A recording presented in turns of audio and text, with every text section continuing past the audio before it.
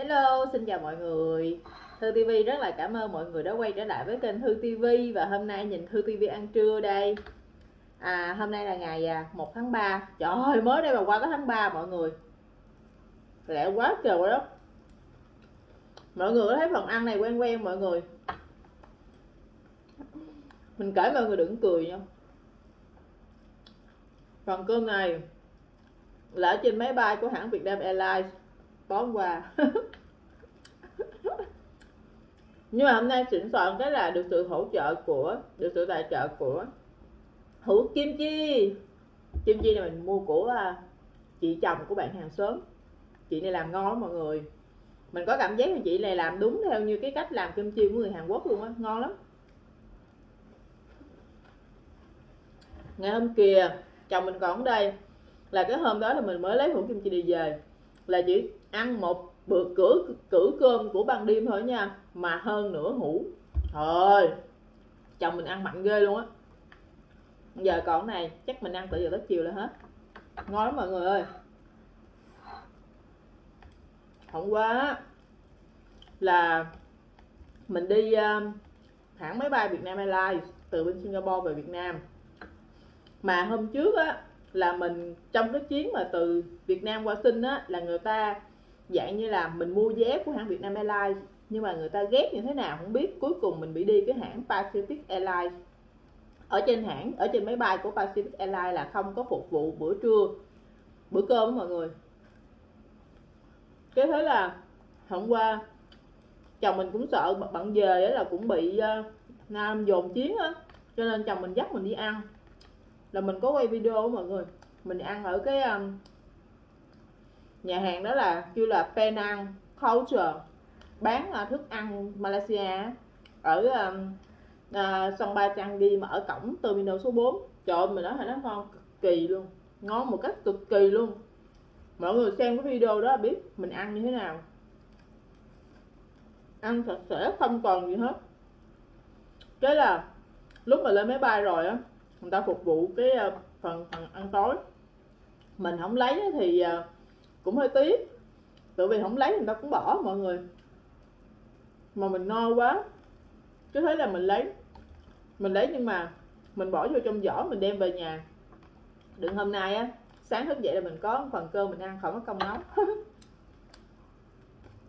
Mọi người không biết mình đâu mình tiết kiệm lắm luôn á thật sự.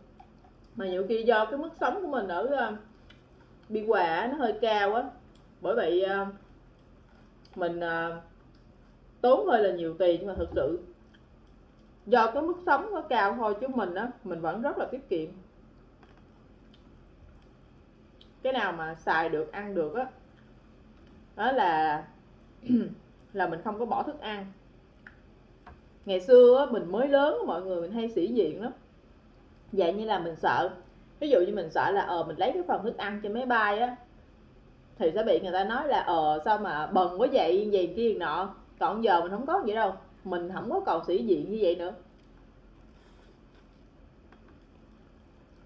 Ngày xưa mình sĩ diện nó nổi mà mình dám cưới họ hàng đó. Họ hàng ở xa thì người ta người ta thấy mình về xa, người ta mới đùm thức ăn, người ta kêu mình đem về mình ngại cỡ mà mình không lấy mình sợ bị nói còn giờ người ta không cho hả? Mà mình thấy bàn trên bàn còn dư mình cũng đùm mình đem về.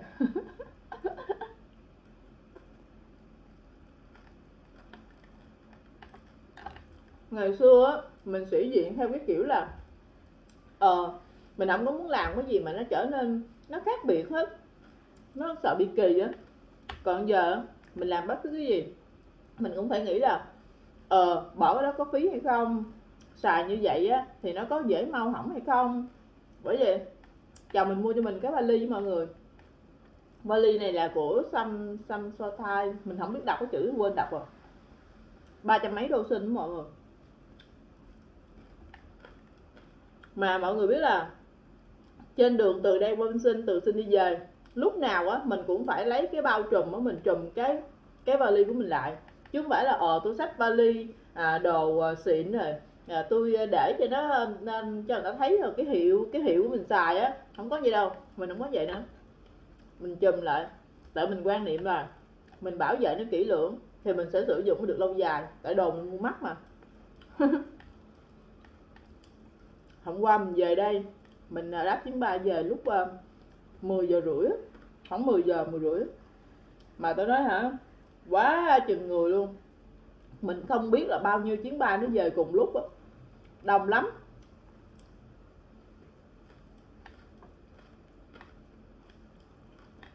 Cho nên nó làm thủ tục hải quan đó hả? Mất một tiếng đồng hồ.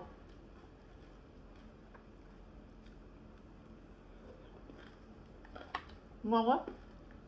Ngon nhờ kim chi.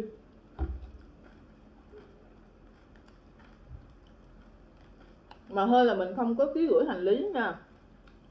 Có anh chị này mình tiếc ghê số là mình, thường thường á, thời gian sau này á, mình đi ráp á, là mình cài đặt trả thằng bằng thẻ visa mọi người.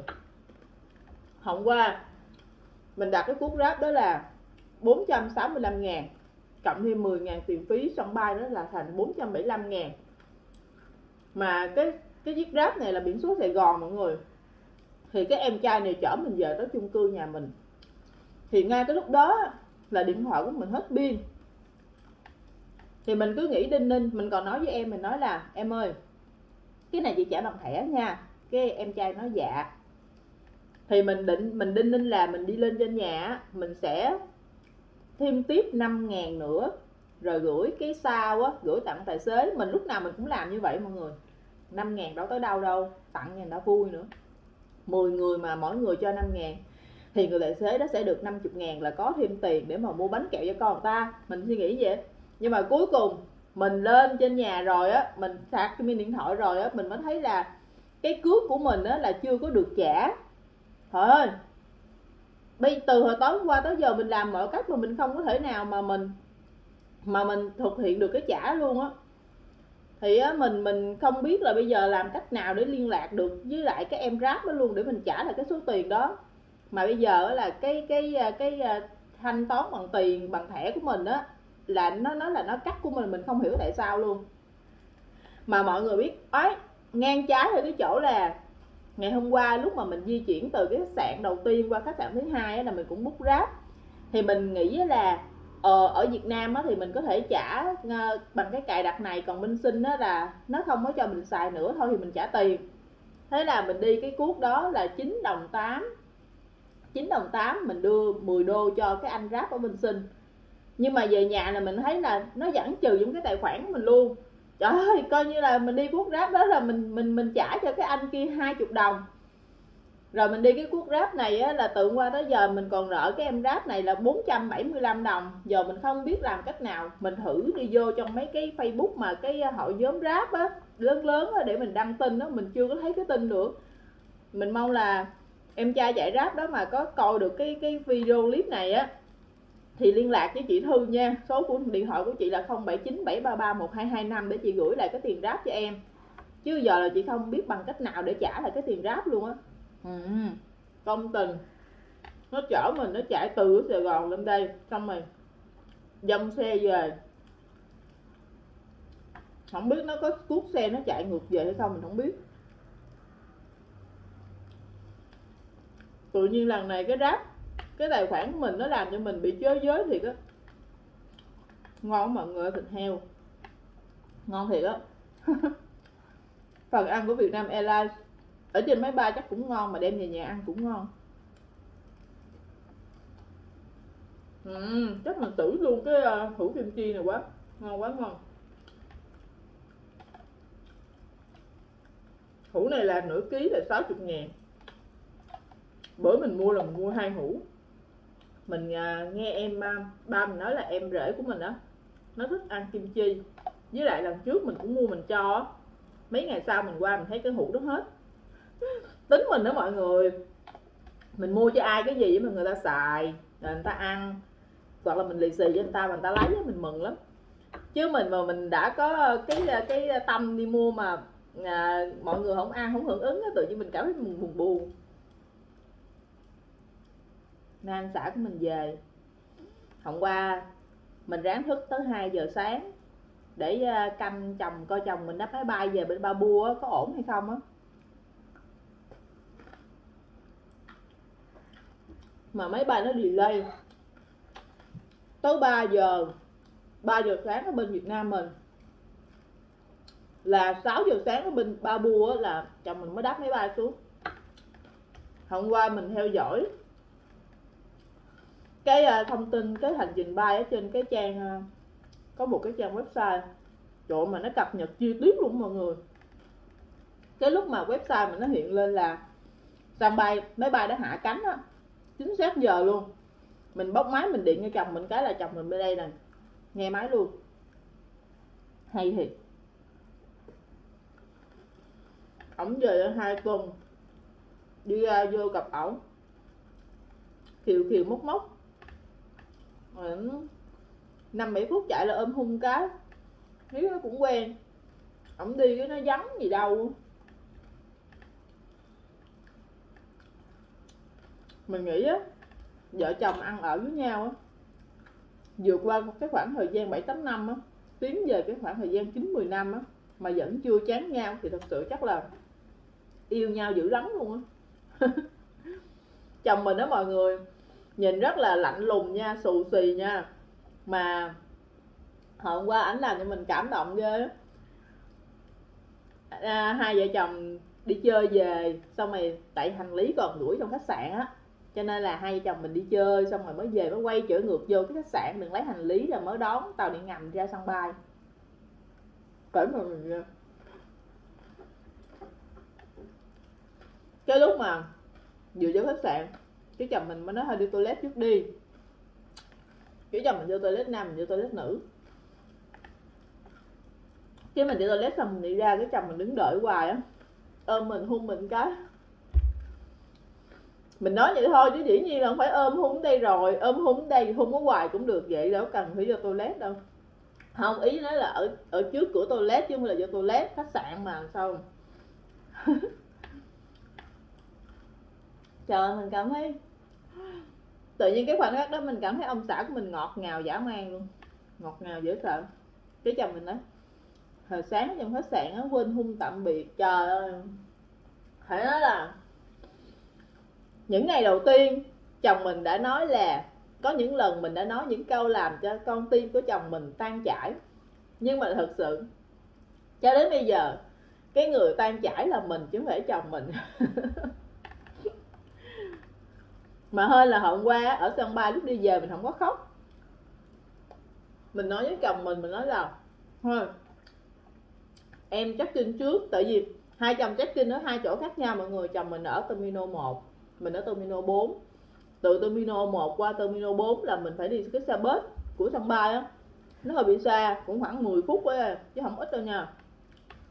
Nhưng mình mới nói là thôi hai chồng mình ăn cơm đi rồi xong rồi hả, anh đi vô, còn em á đón xe buýt, em đi về qua cổng bên em. Chứ em sợ cái cảnh mà anh đưa em về. Cái anh kêu em đi vô trong đi. Cái em phải đều vừa vô trong vừa làm thủ tục check in rồi anh đứng ở ngoài anh nhìn em. Rồi em check in xong, em lại đứng ở trong em nhìn anh. Trời ơi! Em không thể nào em chịu đựng được cái khoảnh khắc này, em rất là sợ nó luôn. Cho mọi người biết hả? Hồi 3 tháng trước đó nha hồi lần đầu tiên á là nửa năm trước. Cùng cái cảnh đấy mà mình khóc mình khóc mà tôi nói hả ai cũng nhìn mình luôn mà mình không có muốn để người ta nhìn mình mà mình khóc mà mình không thể nào mình ngừng được. Đó lần đầu tiên đã vậy. Lần thứ hai cũng vậy. Lần thứ hai thì chỗ đó ít người hơn. Mà mình sợ mình khóc thì chồng mình biết cái thế là mình cứ dồn nén. Cuối cùng hả mình mình mình mình mình scan passport với lại à, dấu vân tay rồi á. Mình trốn ở sau cái cây cột á mà mọi người biết hả? Lúc mình vỡ òa lên, mình khóc, bạn hồn mình muốn bị đau tim luôn á mọi người. Trời trong cái khoảnh khắc đó cái mình ngồi bỏ xuống mình nói, trời ơi, sao mình mình không có kiềm chế cảm xúc để mình khóc dữ vậy trời? Khóc vậy là lỡ hồn mình thở không nổi rồi biết làm sao. Cái thế là mình ráng mình thở, hít thở như là thiền vậy. Hít thở nha. Cầu một, hai phút sau là mới đỡ cho mọi người, là mình mới đứng dậy mình đi được á trời ơi, mình sợ cái cảm giác khóc dã man luôn. Không phải là mình kẻ lương hay cái gì đâu mà mình không có kiềm chế được. Với lại, mình biết là chồng mình cũng buồn lắm. Chồng mình đàn ông nha. Mà hai lần trước á, tới cái lần mà em đi vô, em vô đường anh em, anh đi ra anh về đường anh á, chồng mình mắt hả, tướng nó mắt rồi mà đỏ vậy. Tình cảm lắm mọi người giờ nhắc tới mình cũng muốn khóc á bởi giờ hôm qua tránh cái cảnh đó mình kêu thôi, anh để tự em đi, xe buýt em đi về cái cổng của em rồi anh đi vô đi. Mà hơn hơn là hôm qua trời mưa. Trời, tới đấy hả? Ba ngày bên sinh, mưa đủ ba ngày luôn mọi người. Hôm nay mình về Việt Nam mà nó nóng trời đất luôn, bây giờ mình phải đang mở máy lạnh. Mọi người biết mình là một cái đứa rất là kỳ bo nha, sợ tốn tiền điện nha. Là mình sợ lạnh nha, tại mình bị viêm xoang mọi người. Cho nên mình rất là hạn chế mở máy lạnh, mà hôm nay mình không chịu nổi mình phải mở máy lạnh từ nãy tới giờ nửa tiếng rồi cái ờ, hôm qua mưa. Chồng mình cũng đưa mình ra tới cái cửa xe buýt luôn. Cũng phải ôm nhau thêm lần nữa. Rồi xong mới chịu đi. Tội chồng mình lắm. Bay qua bển á, là 6 giờ sáng, mà trong khi 8 giờ phải đi làm. Về là đi làm luôn. Còn mình thì đỡ hơn. Bên bển 6 giờ đây 3 giờ. Mình nói chuyện với chồng mình xong, mình ngủ mình ngủ tới 8 giờ, tới 9 giờ mình mới dậy.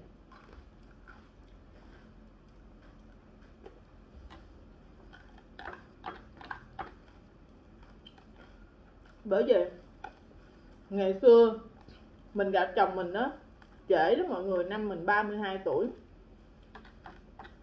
Giờ nhiều khi mình thấy bạn bè mình á, tụi nó cưới nhau con tụi nó hả? 19 20 tuổi. Tụi nó ở bên nhau, yêu nhau, cưới nhau được hơn 20 năm. Mình thấy mình canh tỷ sợ luôn. Mình nghĩ, trời sao hồi đó hả? Mình không gặp chồng mình sớm hơn.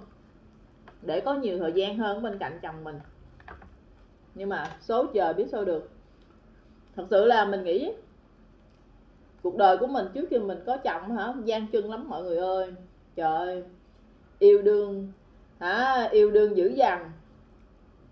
Coi như là có những mối tình tưởng đâu là thiên trường địa cũ mà cuối cùng cũng không có đi đâu hết. Giờ cái mình đụng chồng mình biết rằng nó hơi trễ, nhưng mà gặp đúng người á, cái ờ, mình cảm thấy những cái mối tình trong quá khứ trời ơi, sao mà nó nó nhảm sự sợ luôn.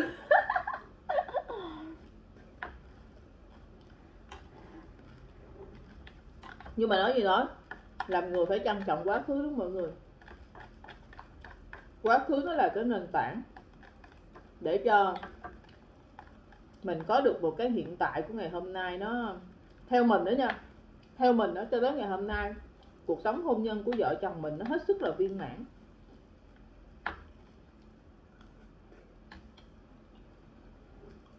Có thể là còn rất là sớm để nói về cái sự viên mãn nhưng mà mình hy vọng là nó cứ kéo dài như vậy.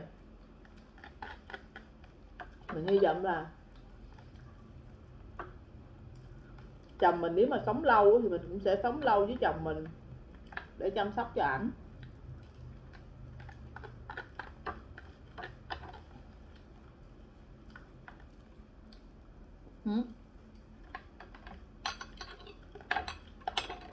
Vậy là hết phần cơm. đỡ phải mất công đi chợ, đỡ phải mất công nấu cơm, đỡ phải mất công tốn tiền. Mà còn được tâm sự với mọi người về cái tình yêu viên mãn của hương hôm nay thư tập bán dép của mọi người ơi. Đôi này 140k đôi này 201 mình á, mình chưa bao giờ mình buôn bán hết, hôm nay mình buôn bán mình hơi bị khờ mình à, báo giá mà mình không có biết cách để cộng tiền ship. Thế là từ sáng giờ có người mua cái mình kêu người ta là cho em thêm tiền ship thì người ta không chịu. Cái mình điện cho bạn mình mình hỏi. Bạn mình nói chợ mày buôn bán rồi mày phải cộng tiền ship cho người ta. Đấy. Chứ bây giờ mày đưa ra cái giá là mày kêu người ta phụ tiền ship với mày ai chịu? Người ta mua đồ người ta chỉ muốn mua đồ rẻ thôi. Thế là giờ ví dụ như đôi này mình lời năm à, năm chục đi mình phải chịu tiền ship bởi vì mình lời có ba chục ngàn mọi người. Thôi nhưng mà thôi. Y như nãy mình nói làm gì cũng phải trân trọng những cái à, bước đầu tiên hết. Công nhận sao? Vụ à, tiền ship này là mình khôn mới được. Khôn được ở cái phần là phải cộng tiền ship vô. Tự vì ngay cả bản thân mình nha mình đi mua đồ mình nói thiệt với mọi người luôn mình à, 10 tháng trước mình về Việt Nam á là mình phải mua hai đôi giày. Mình vô trong Zara mình mua hai một đôi giày à, mũi nhọn. À, dài thấp. Cột dây mũi nhọn đó nha. Một triệu mốt. Một đôi dép xẹp một triệu mốt. Ví dụ như bản thân của mình mua hàng á mình chắc mình nhất định là mình muốn mua một cái đôi mà cho nó thiệt sự là nó tốt nó bền. Rồi cái kiểu dáng của nó cũng phải gọi là sang chảnh á, thì mình sẽ quyết định là chọn mua những cái phân khúc hàng như vậy để mình có thể sử dụng lâu và đẹp và bền còn những cái món khác á thì dĩ nhiên là mình mua cái gì cũng phải rẻ mới mua đúng không mọi người? Y như cái này nè 60 ngàn rẻ ngon mới mua chứ hũ này coi. Bây giờ mà bán hả tám chín chục nửa ký chợ ai mua mình cũng không có mua đâu. Mình nói thiệt để tự mình làm cho nó nó rẻ. Cho nên là à, sau cái à, đợt dép này thì à, mình sẽ à, cộng vô thêm tí chút xíu tiền ship đó, để cho khỏi mất công lăn tăng với à, khách ví dụ tiền tiếp. à, mình có số điện thoại đó. Ai xem được video này á, mà có thương mình nó ủng hộ mình á mua vé giùm mình luôn nha. Ok thư à, thư tv đã ăn hết rồi. À, nói chuyện cũng đã xong rồi. Bây giờ thư tv bye đây. Xin chào và hẹn tạm biệt mọi người. Chúc mọi người một buổi trưa vui vẻ. Bye.